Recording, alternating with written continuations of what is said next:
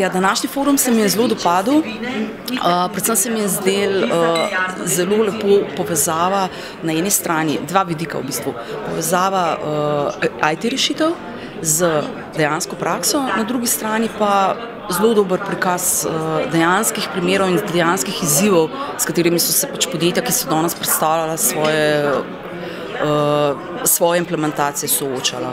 Tako da uh, krasno zasnovan ta prvi forum, jaz vam želim veliko slišati tudi pri organiziranju drugega.